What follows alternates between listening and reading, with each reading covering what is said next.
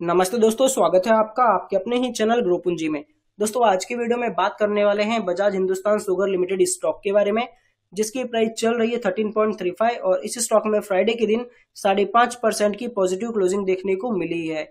And second number का stock है Ratan India enterprises limited, जिसकी प्राइस चल रही है फोर्टी और इस स्टॉक में लगा हुआ है पाँच परसेंट का अपर सर्किट। दोस्तों, बजाज हिंदुस्तान में ऑलमोस्ट टू मंथ से कंटिन्यू डाउन ट्रेंड देखने को मिल रहा है। जब बजाज हिंदुस्तान में। 22 की प्राइस एक डाउन ट्रेंड देखने को मिला और स्टॉक में हमें ग्यारह रुपए के टारगेट देखने को मिले नीचे की तरफ़। यानी कि ऑलमोस्ट 50 परसेंट तक का डाउन ट्रेंड देखने को मिला है। लेकिन वही से हमें इस स्टॉक में एक रिवर्सल देखने को मिला है। और अगर हम बात करें रतन इंडिया एंटरप्राइज स्टॉक की तो दोस्तों हमें इस स्टॉक में थर्टी रुपीज़ से सिक्सटी रुपीज़ के टारगेट भी देखने को मिले, लेकिन फिफ्टी एट से कंटिन्यू एक डाउन ट्रेंड देखने को मिल रहा है। लेकिन फाइनली स्टॉक में अपर सर्किट लग चुका है। तो हमें दोनों स्टॉक में क्या करना चाहिए और किस स्टॉक में एंट्री बनानी चाहिए, इस बारे में जानेंगे। तो चलिए दोस्तों, वीडियो स्टार्ट करते हैं। वीडियो लास्ट तक ज़रूर देखिए। दोस्तों, सबसे पहले हम बात करने वाले हैं Bajaj Hindustan sugar limited stock के बारे में। लेकिन इस स्टॉक के बारे में जानने से पहले, अगर आपने अभी तक हमारे यूट्यूब चैनल सब्सक्राइब नहीं किया है तो सबसे पहले आप हमारे यूट्यूब चैनल सब्सक्राइब करें और वेल आइकन को प्रेस करें। जिससे आपको हमारी वीडियो की नोटिफिकेशन सबसे पहले मिले और ऐसे ही स्टॉक मार्केट में स्टॉक्स की न्यूज़ और स्टॉक्स की एनालिसिस करके मैं आपके लिए लेके आता रहूँ। दोस्तों बजाज हिंदुस्तान एक शुगर सेक्टर का पेनी स्टॉक है, जिसमें हमें काफ़ी अच्छे टारगेट भी देखने को मिले थे।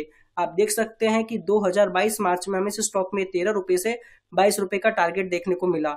एकदम इसे कुछ न्यूज़ की वजह से और प्रॉफिट बुकिंग की वजह से हमें इस स्टॉक में एक डाउन ट्रेंड देखने को मिला है।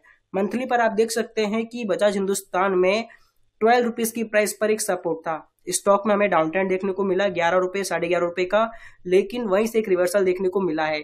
दोस्तों, ये चार्ट है, वो मंथली पर है, और मंथली पर अगर बजाज हिंदुस्तान साढ़े ग्यारह रुपए के और ग्यारह रुपए के नीचे क्लोजिंग नहीं देता है, तब तक हमें इस स्टॉक में और डाउन ट्रेंड देखने को नहीं मिलेगा। इंपॉर्टेंट चीज़ होती है क्लोजिंग देना, डाउन जाना नहीं। जिस बेसिस पर आप चार्ट देख रहे हैं, डेली पर देख रहे हैं तो डेली पर क्लोजिंग, वीकली पर देख रहे हैं तो वीकली पर क्लोजिंग, और हम देख रहे हैं मंथली पर। तो मंथली पर अगर ये साढ़े ग्यारह रुपए, बारह रुपए के नीचे क्लोजिंग नहीं देगा, तब तक हमें इस स्टॉक में नीचे की तरफ़ और डाउन ट्रेंड देखने को नहीं मिलेगा। एक बार के लिए इसे हम वीकली पर भी देख लेते हैं। दोस्तों वीकली पर इस स्टॉक ने अपने 200 हंड्रेड ई टच के करके एक रिवर्सल दिखाया है। डेली पर भी देख लेते हैं। डेली पर दोस्तों आप देख सकते हैं कि स्टॉक में काफ़ी अच्छा अप ट्रेंड बना हुआ है। दोस्तों, जो भी करंट प्राइस चल रही है 13.35 इस प्राइस पर भी अगर आप एंट्री लेते हैं तो दोस्तों, आपको जो एस एल मेंटेन करके चलना होगा, वो चलना होगा ग्यारह रुपए का। ग्यारह रुपए का एस एल मेंटेन करके आप एक बार के लिए मिनिमम क्वांटिटी इस स्टॉक में ले सकते हैं। मिनिमम क्वांटिटी इसलिए दोस्तों, क्योंकि पेनी स्टॉक है। और पेनी स्टॉक में एवरी टाइम मिनिमम क्वांटिटी ही लेनी चाहिए, ज़्यादा अमाउंट का रिस्क ना ले। अपना रिस्क कैलकुलेट करने के बाद ही आप किसी भी स्टॉक में एंट्री ले और पेनी स्टॉक में एंट्री ले।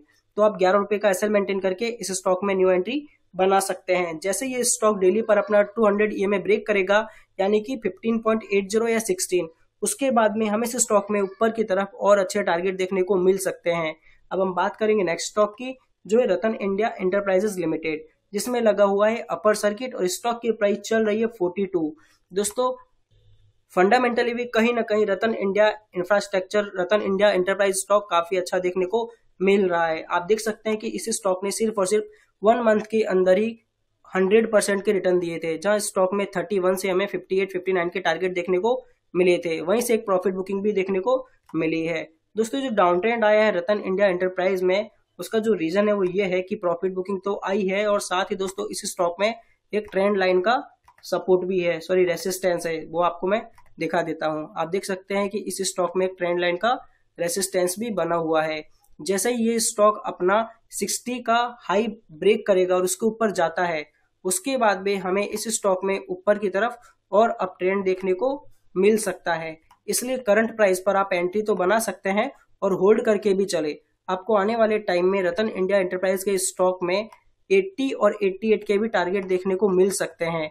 जैसे ये स्टॉक 60 के ऊपर जाता है और जो ऊपर रेसिस्टेंस आएगा वो रहेगा सेवेंटी वन का और ये सेवेंटी वन ब्रेक करेगा, उसके बाद में हमें इस स्टॉक में ऊपर से आराम तक 90 और 85 के भी टारगेट देखने को मिल सकते हैं और लॉन्ग टर्म के व्यू से भी आप इस स्टॉक में एंट्री बना सकते हैं। क्योंकि दोस्तों, रतन इंडिया एंटरप्राइज ने ड्रोन बिज़नेस में और इलेक्ट्रिक बाइक में इन्वेस्टमेंट किया हुआ है, जिसका पॉजिटिव इम्पैक्ट हमें आने वाले टाइम में देखने को मिल सकता है। आपको इस स्टॉक में जो अप ट्रेंड देखने को मिलेगा, वो असली अप ट्रेंड देखने को मिलेगा 56 और 57 के ऊपर क्लोजिंग बेसिस पर। अगर रतन इंडिया एंटरप्राइज वीकली पर क्लोज होता है 56 और 57 की प्राइस पर, उसके बाद में हमें काफ़ी अच्छे टारगेट देखने को मिलेंगे। आपको एसएल मेंटेन करके चलना है तीस रुपए का। तीस रुपए का एसएल मेंटेन करके आप इस स्टॉक को होल्ड करके चले और छोटा सा सपोर्ट बना हुआ है रतन इंडिया एंटरप्राइज के स्टॉक में 38 की प्राइस पर, जहाँ से इस बार इस स्टॉक ने एक रिवर्सल दिखाया है। तो दोस्तों, आप तीस रुपए का एसएल मेंटेन करके इस स्टॉक को होल्ड करके चल सकते हैं और न्यू एंट्री भी बना सकते हैं। आई दोस्तों, आपको ये वीडियो पसंद आया होगा। अगर ये वीडियो आपको पसंद आया है तो इस वीडियो को लाइक करे शेयर करे और चैनल को ज़रूर सब्सक्राइब करे। जय हिंद।